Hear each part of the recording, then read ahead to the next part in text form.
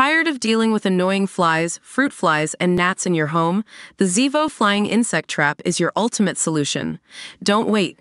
Check out the link in the video description now to get your Zevo Flying Insect Trap on Amazon and enjoy a bug-free home today. A tick species native to Asia is spreading across the U.S., with Oklahoma reporting its first sighting this week. The Sooner State is the 20th to confirm the presence of the Asian longhorn tick that can transmit deadly human and livestock diseases with its bites. The species carries a virus that kills 15% of its victims in Asia, but only cow deaths have been reported in the U.S. since the tick arrived in 2017. The U.S. Department of Environmental Protection has found that the parasitic arachnids in America carry Lyme disease, a life-threatening bacteria, and a virus that causes inflammation in the brain.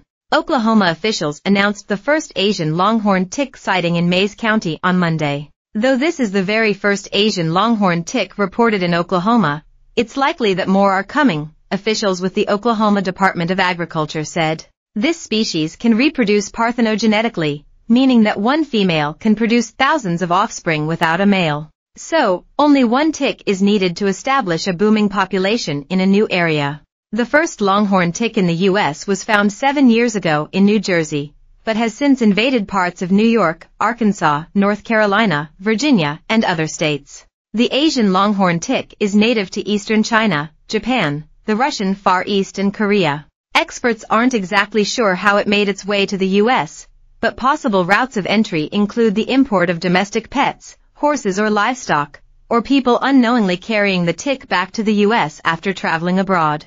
Dina M. Fonseca, a professor and director of the Center for Vector Biology in the Department of Entomology in the School of Environmental and Biological Sciences, said, One thing we uncovered is the ease with which pets, especially dogs, can accidentally help ticks cross international borders and state lines. So far, no humans have died from an Asian longhorn tick bite in the U.S. But these tiny vectors of disease did kill several cattle in Ohio in 2023.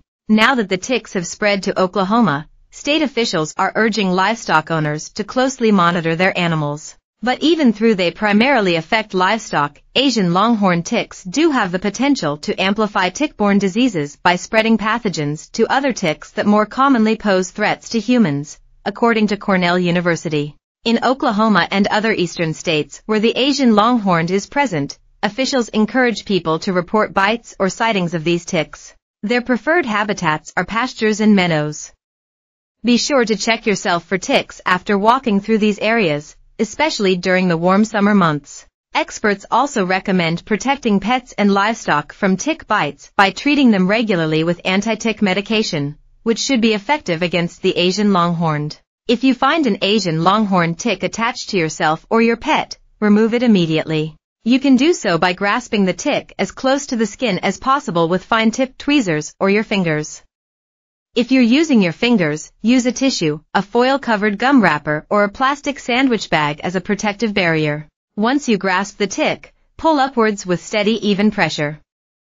Do not twist the tick as you pull. After you remove it, wash the affected area with soap and water and disinfect the bite with a topical antiseptic. Whatever you do, don't throw away the tick. Put it in a plastic Ziploc bag and seal it closed. That way you can take it to your doctor or veterinarian for identification.